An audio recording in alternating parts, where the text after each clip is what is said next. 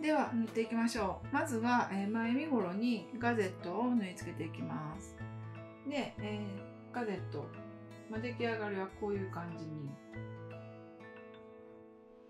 なるんですがなので、えーと、このくぼみのところにこのガゼットがちょうど収まる感じになります。まず片っぽですね。はい。足合わせて縫い代1センチで縫い合わせます。で途中で縫う線は出来上がり線のところで縫いますのでこの端ですね。頂点のところで、えー、縫い止まります。なのでまずはそこガゼットにそこの位置を印をしておくと縫い止まり位置が分かりやすいと思います。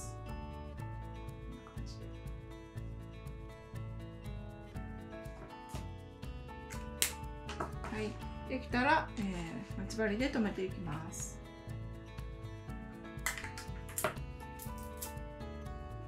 ここまでです。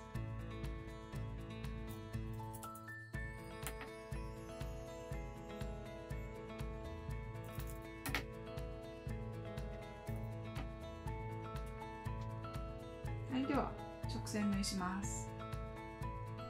はいでは縫います。印のところまでですね。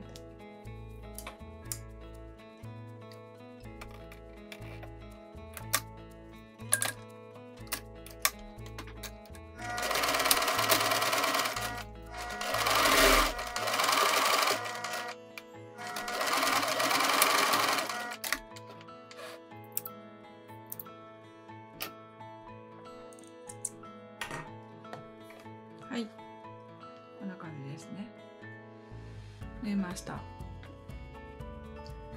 はい縫いました。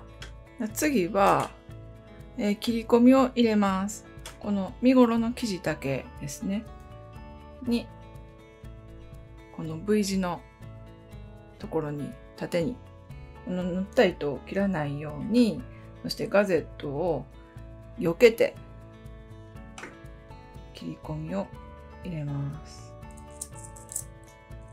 まあギリギリぐらいまで。はい。そしたら次は反対も同じように縫い代1センチで縫っていきます。なので待ち針で留めていきます。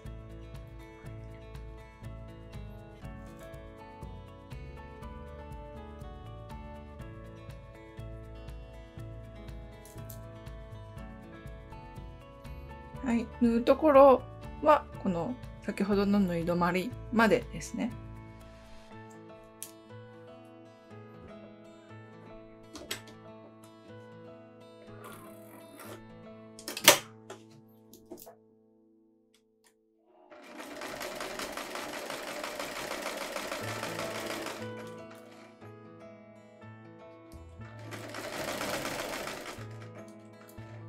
この時にこの下の身ごろの生地タックにならないように気をつけてください。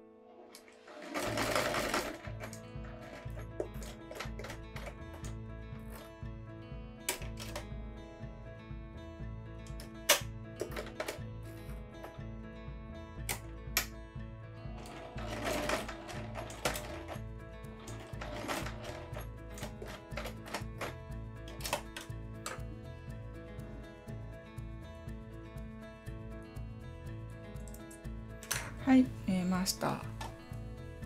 こんな感じですね。で、表から見ると、こんな感じで。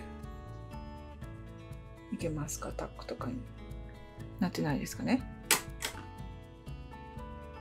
はい、では、先ほど縫ったところですね。端をロックミシンで縫っていきます。ロックミシンない方は、ジグザグステッチで端を縫っていってください。切り落とさないように縫います。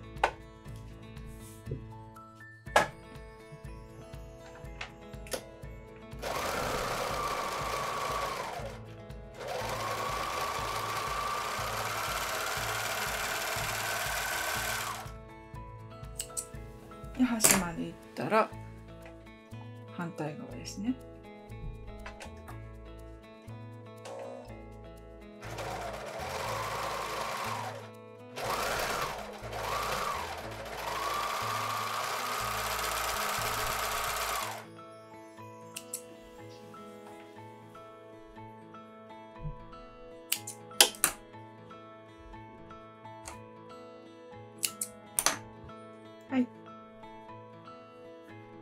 感じで縫えました。はい、ではアイロンしていきます。えもしここですね、ここが変に伸びていたりしたら、あのスチームアイロンかけると多少伸びが落ち着きます。ニットアイロンするときはどうするんでした滑らさないですね。生地が伸びるから。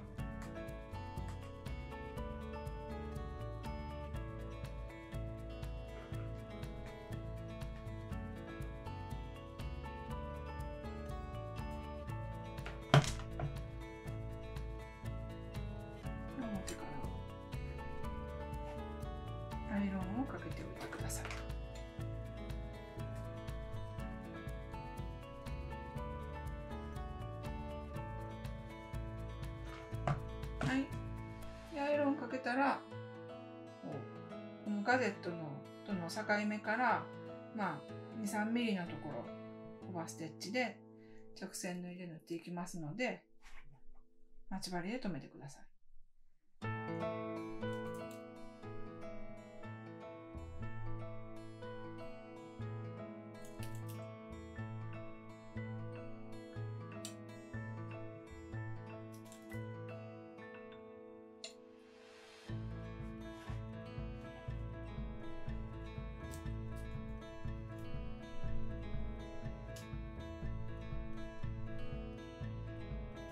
待ち針留める箇所も縫うところを留めるんでしたね。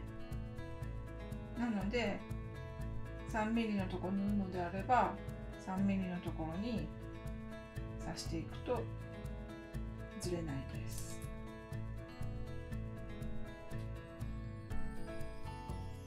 はい。はいでは縫っていきます。表から縫います。